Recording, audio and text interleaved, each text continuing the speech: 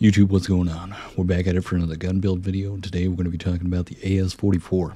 Absolute shredder when it comes to close quarters combat. We've got all the fire rate we need, we've got perfect hip fire accuracy, and all the mobility that we could possibly want when it comes to a close quarters combat AER. Now, the thing that I could probably closest uh, resemblance this with is probably the FFAR, but it seems to have a stronger rate of fire than the FFAR. Almost feels like a PPSH, if you know what I mean when it comes to that rate of fire, but even faster than that. Now, when it comes to the Vanguard integration, when it comes to moving into Pacific Warzone, I could obviously see this being something like the FFAR, where it came in, had that really strong secondary close quarter type of uh, weapon that's an SMG util- or an AR utilizes an SMG style. Just really melts people up close, has that rate of fire to destroy and enough damage. Could arguably have more damage. Not too pleased with some of the damage values on this, but it's got enough to be a melter. Absolutely chew through people and all the mobility you'll need to work around them, avoid their fire, and just melt into them. We'll get into the attachments now and also have some gameplay to showcase this build off. We'll start off with the muzzle. Early on, when you're leveling this weapon, you definitely want some recoil control or accuracy. This gun is going to be going all over the place. In the beginning, as a stock weapon, this is not a long range weapon. You will really be focused on close quarter combat with this, utilizing its mobility and hip fire. A lot of the attachments early on will help with the hip fire, sprint to fire speed as well, so utilize those to the best of your ability when leveling this. But once you finally level it up a bit, recoil booster is what I utilize for a lot of the leveling, and I even still use it now for the final build, just increasing that fire rate. But if you felt like it was still a little bit too out of control when you ADS and try to fire, you could go for the F8 stabilizer, gaining that accuracy and a little bit of damage range, trying to push it for more medium range combat as well. When it comes to the barrel, early on I use the Empress 400 millimeter for that hip fire accuracy really strongly utilizing the close quarter combat of this uh, hip fire ability. But after that, Kova, you know, 420 millimeter burst. This is something that could make it into uh, a bit of a long range viable, but the damage just didn't feel quite right to me. You could increase the rate of fire on it, helps it out a bit, but a lot of times I just found this is better for close quarters, and that's for a different build, different day. But once you finally level it up, Empress Falchion A, we're going to increase that fire rate, and you'll notice right here we've got 1,250 rounds per minute. Ooh, we are dumping some mags into people really quickly with this one.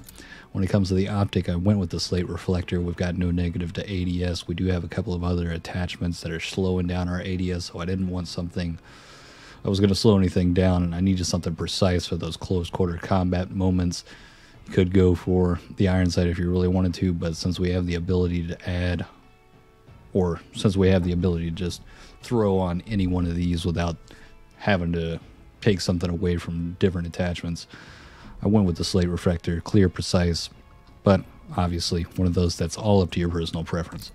When it comes to the stock, early on you'll notice the stack Zack skeletal. We've got that sprint of fire speed and movement speed, and then remove stock for more of that hip fire accuracy. These are the two you'll probably utilize early on when leveling this weapon. Once you finally get down to it, Zack 12B custom is going to be the one we finalize this build with. We need that aiming stability, bit of flinch resistance, recoil recovery. The big thing is initial accuracy and recoil. Now, why that's big for this build is we're we're just pumping out so many rounds so fast that all we need is that initial accuracy and recoil. We don't need the sustained fire like with the Komal, uh, the custom. I'm just not even going to try and say that word. We just need it for that initial, considering it's it's just melting people so quick with how fast we're firing. It's nothing more from sustained fire is going to be necessary, and a lot of times if there are a group of people, maybe some off to the left and the right, you're going to be able to hold and sustain for those moments because it's just going to take no time at all to just melt through them. Now, early on, when it came to the proficiency, I was using Gung Ho since we were utilizing a bit of that hip fire when leveling. Get that fire while sprinting, so you're just able to run around and just fire from the hip. It's pretty fun. It's a good, nice little like novelty build, but not the perfect way to go about it. When it comes down to uh, actually finishing out leveling the weapon, we went with momentum.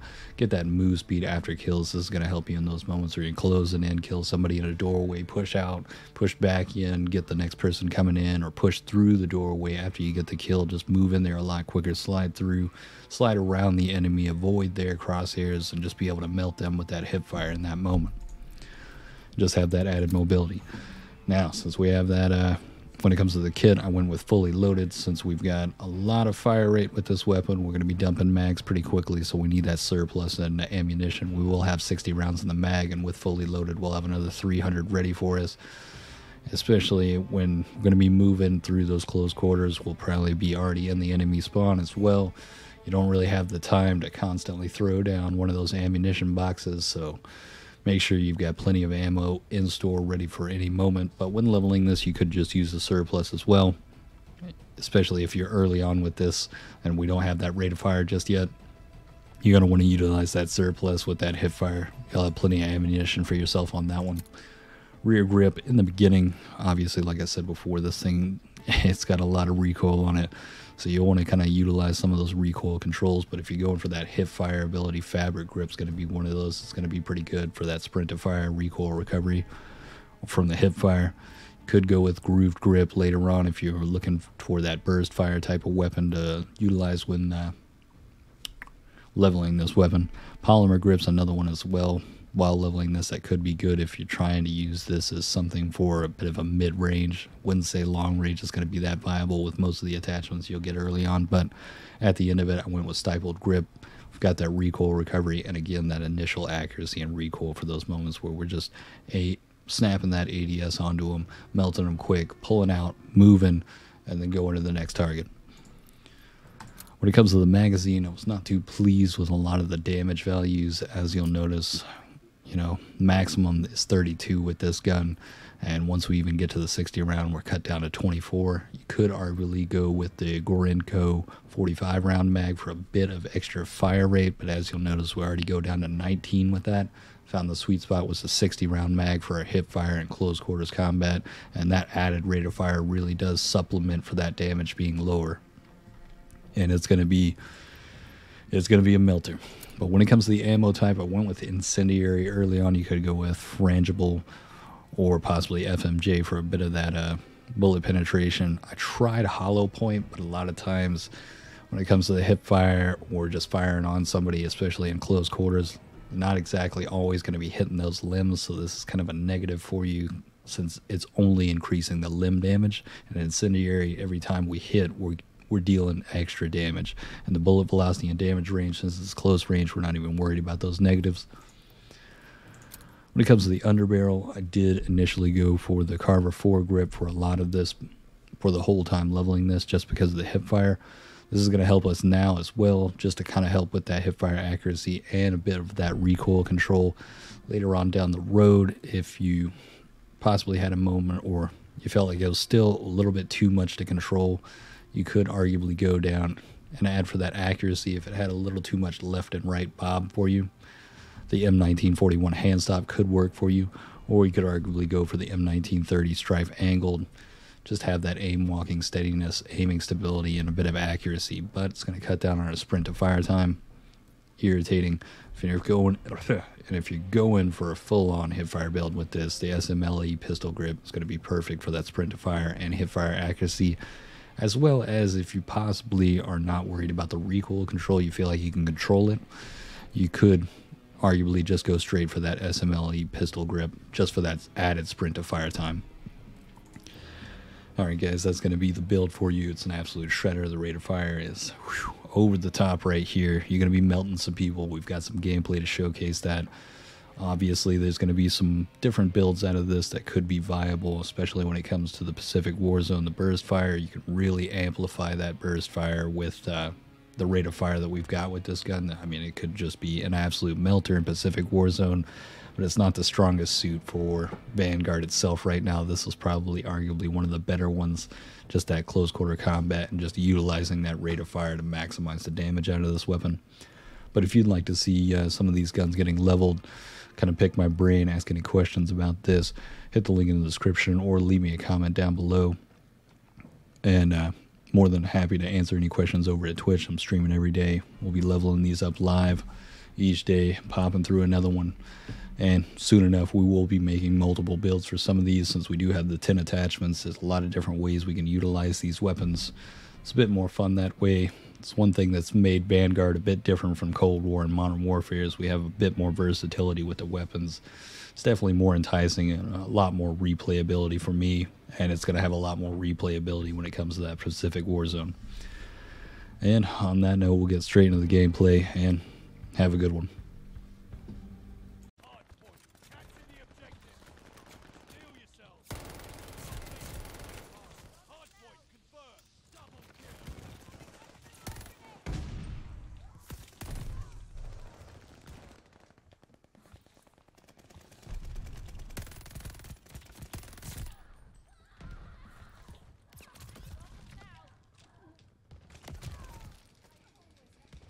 Love the spawn flip.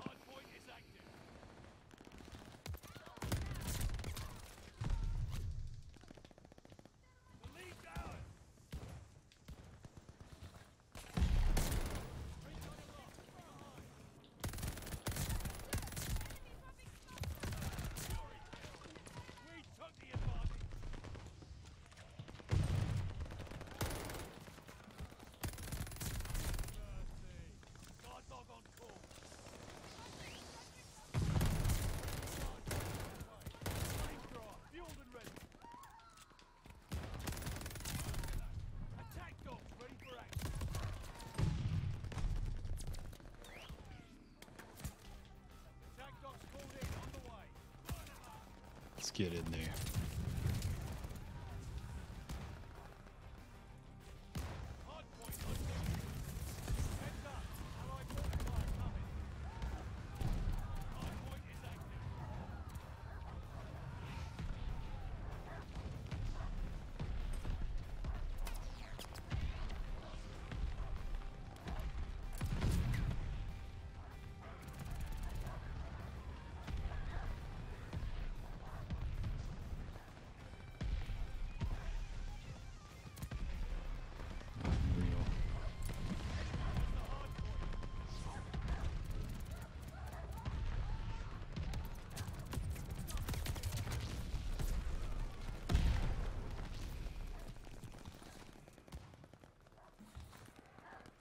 Yeah, this is the build for it, that's for sure.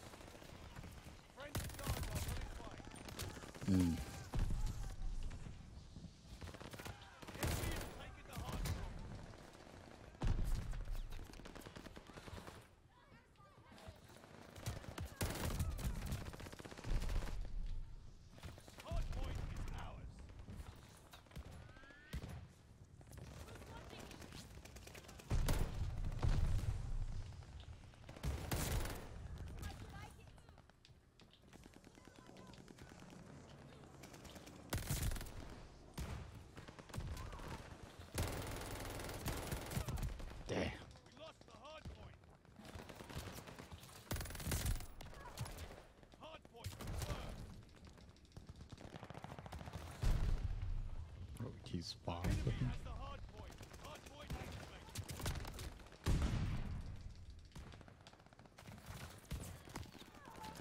Hostile recon in the air. Spies in the sky.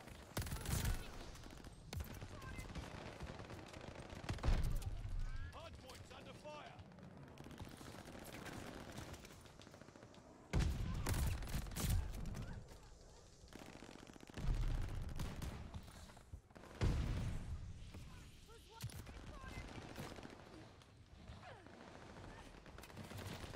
Hard point's under fire.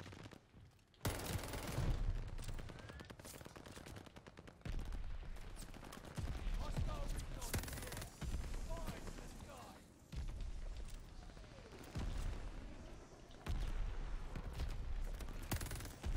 Hard point confirmed.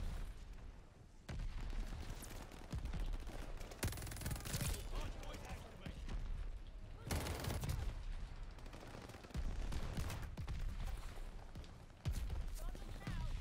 Enemy has the hard point.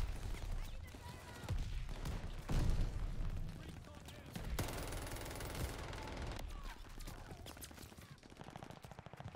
Got an enemy glide bomb on the way. Yeah. Absolute clusterfuck.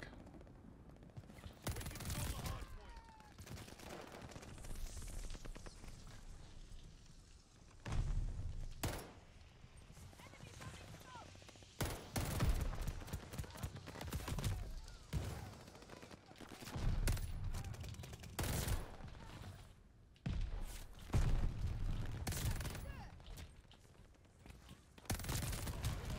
Hard point confirmed. Hard point activated. Ah.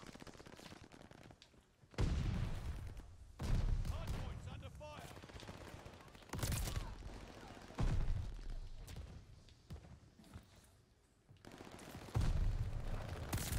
Hostile recon in the air. Spies in the sky.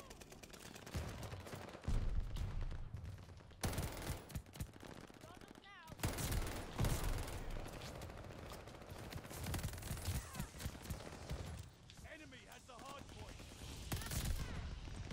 Allied forces bombing run incoming.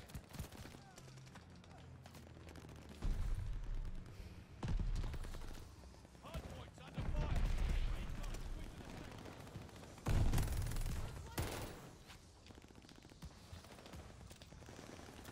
The enemy is taking the hard point. Hard point confirmed. Yeah.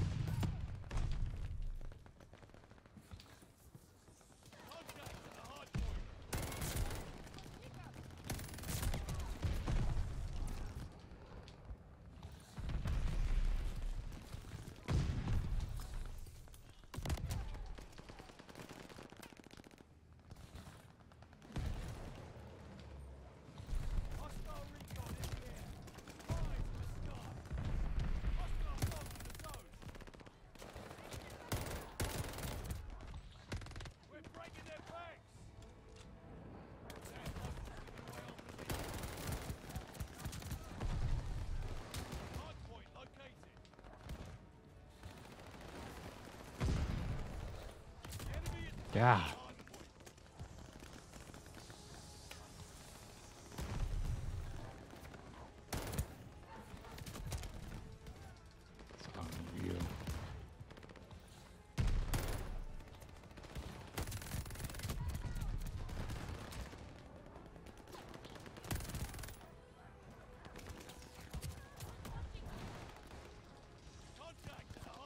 Everybody's just everywhere on this map right now. Can't even. God, man. I can't even react fast enough for it.